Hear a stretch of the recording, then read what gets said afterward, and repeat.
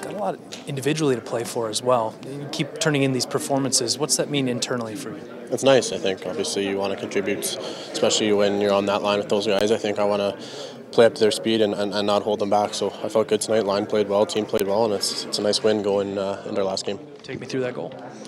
Yeah, it was just uh, I don't remember how it happened. Uh, Davo had the puck and uh, does what he does best, draws three guys to him, and, and, and finds a seam. So uh, just got to shoot the puck, be a shooter on that line, and, and uh, that one went in.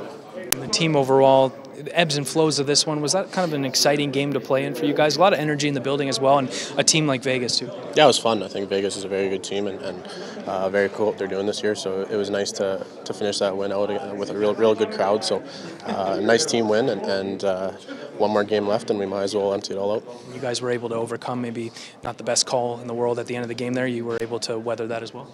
Yeah, that's the way she goes. I think uh, fast-paced game, and, and, those things happen. And our PK did a heck of a job all game, and, and uh, nothing changed at the end there. They, they limited their chances, and uh, wins a win.